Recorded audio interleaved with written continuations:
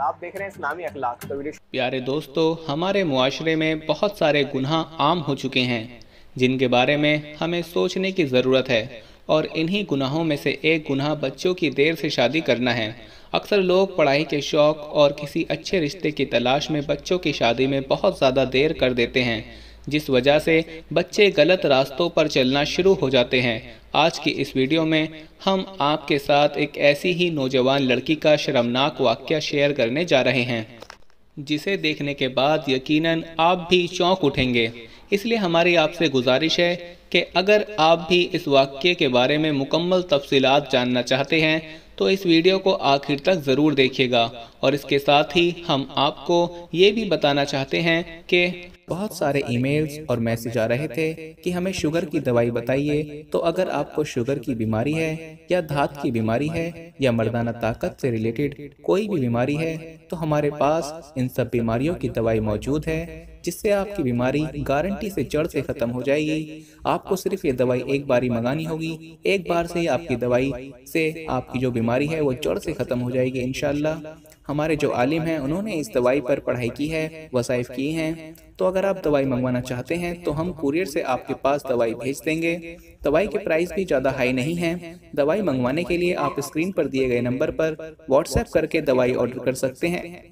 और ज़्यादा जानकारी के लिए आप व्हाट्सएप पर मैसेज करें। चलिए, अब आपको वो वाक्य बताते हैं।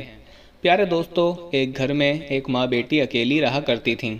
घर में तीसरा कोई नहीं था। बेटी की उम्र 25 साल से ऊपर हो चुकी थी, लेकिन माँ ने अभी तक उसकी शादी नहीं की थी। अगर शादी के बारे में कोई बात होती तो माँ बेटी को ये कहकर टाल देती कि पहले अपनी पढ़ाई मुकम्मल करो, फिर शादी का भी देख लेंगे। इसी तरह दिन गुजरते जा रहे थे। और लड़की अपने जज्बात से मजबूर हो चुकी थी।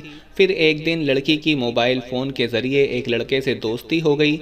लड़के ने लड़की से कहा कि, मैं तुमसे बहुत ज़्यादा मोहब्बत करता हूँ। हम सारी ज़िंदगी साथ रहेंगे और मैं हर हद तक तुम्हारा ख्याल रखूँगा। लड़की जो शायद पहले ही किसी सहारे की तलाश में थी, फ़ौरन लड़के की बातों में आ गई और कहने लगी कि, मुझे भी तुमसे मोहब्बत हो चुकी है। मैं भी तुम्हारे बगैर नहीं रह सकती। मोबाइल फ़ोन से बात मिलने मिलाने तक आ पहुँची। अब इस सारी सूरत हाल का शक लड़की की माँ को भी हो चुका था। लड़की की माँ ने घर के बाहर सीसीटीवी कैमरा लगवा दिया और कड़ी निगरानी करने लगी कि आखिर लड़की घर से निकलकर जाती कहाँ है, किससे मिलती है और पढ़ाई के बाद क्या करती है। जब माँ ने अपनी बेटी पर कुछ पाबंदियाँ लगाईं तो लड़की को अपनी माँ से चिढ़ होने लगी। और वो माँ से बदतमीज़ी पर उतर आई कि तुम छोटी छोटी बातों पर मेरा इंटरव्यू करने लगती हो लंबे लंबे सवाल करने लगती हो, भला तुम्हारी अपनी ज़िंदगी में कोई और काम नहीं, वगैरह वगैरह। फिर मामला कुछ ऐसे हुआ कि एक रात लड़के ने कहा, मैं तुमसे मिलना चाहता हूँ। और लड़की ने कहा, मेरी भी तो यही ख्वाहिश है। लड़की ने जब लड़के की हाँ में हाँ मिलाई तो लड़का उसके घर मिलने आ गया। अब ये सारा मंजर कैमरे ने रिकॉर्ड कर लिया। और जब इस सारी सूरत हाल की खबर उस लड़की की माँ को हुई तो वो बहुत ही ज़्यादा परेशान हुई और अपनी बेटी से कहने लगी कि तुम्हें सोचना चाहिए कि ऐसे लड़के सही नहीं होते जो इस तरीके से गेट फलांग कर घरों में आते हैं। वो चाहे जितने मर्ज़ी वादे कर लें, सब झूठे होते हैं और ऐसे लड़के खानदानी लड़के नहीं होते। लेकिन लड़की ने अपनी माँ की एक बात भी नहीं मानी, बल्कि उल्टा अपनी माँ को ही डांटने लगी और माँ से कहने लगी मैं तो इसी लड़के से शादी करूँगी।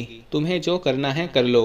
फिर एक दिन यूँ हुआ कि वो लड़की प्रेग्नेंट हो गई और इस बात की खबर जब लड़की ने उस लड़के को दी कि मैं तुम्हारे बच्चे की माँ बनने वाली हूँ तो लड़के ने अपनी मजबूरियाँ बताना शुरू कर दी और कहने लगा कि मेरे सर पर बड़ी जिम्मेदारियाँ हैं, मेरे और भी बहुत से मसले हैं, इसलिए मैं तुमसे शादी नहीं कर सकता। इतनी बात कहकर लड़के ने फ़ोन बंद कर दिया और उसके बाद लड़की ने जब भी उस लड़के का नंबर मिलाया तो वो बंद ही मिला। यानी उस लड़के ने अपना नंबर बदल दिया। अब लड़की रोती हुई घर आई और ये तमाम बातें माँ को बताईं तो माँ ये बात सुनते ही बिस्तर पर जा पड़ी। जब बेटी ने माँ की तबीयत खराब देखी और उस लड़के का मोबाइल फ़ोन भी बंद था तो लड़की को भी इस बात का एहसास हुआ कि वाकई इस दुनिया में मुखलिस रिश्ता है तो वो माँ बाप का रिश्ता है। अब वो लड़की अपनी माँ के सिरहाने बैठकर घंटों रोती रही और अपनी माँ की सेहत के लिए दुआएँ करती रही और वो लड़का, जिसकी चिकनी चुपड़ी बातों में आकर लड़की ने अपनी ज़िंदगी बर्बाद कर ली थी, जिसका कोई अता पता नहीं था और इस तमाम सूरत हाल से उस लड़की को खुद ही निपटना था। प्यारे दोस्तों, याद रहे जब तक हम बच्चों की सही उम्र में शादी करने पर ध्यान नहीं देंगे, तब तक हमारे बच्चे बदफैली का शिकार होते रहेंगे, हमारी मासूम बेटियाँ गुनाहों का इफ्तकाब करती रहेंगी और घरों में बेटियों के रिश्तों के बजाय दोस्ती के पैगाम आया करेंगे।